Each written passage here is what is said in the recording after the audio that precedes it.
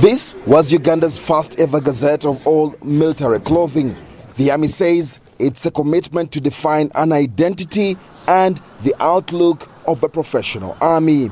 By standardizing, it will also be a deterrent against those who might may want to use or misuse all these uh, items that are now defense towards, that are properties of the state.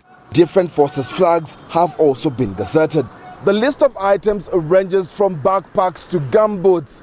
Different colored berets are also reserved for the armed forces. It is now prohibited to sell or wear any decoration resembling that of the army.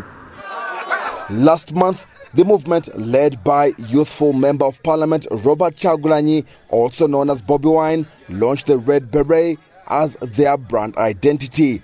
The Red Beret is worn by Uganda's military police. When you look at that gazette, it is overstretching its mandate.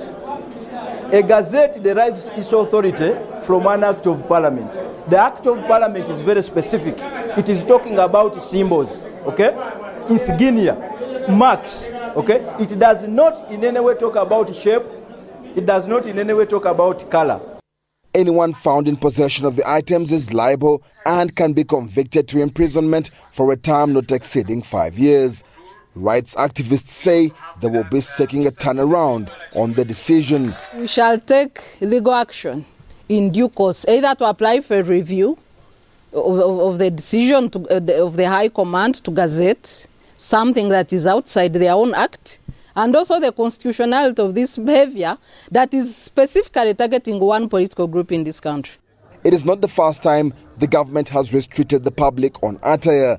Last year, police warned football fans against wearing political party colors to an Africa Cup of Nations qualifying match.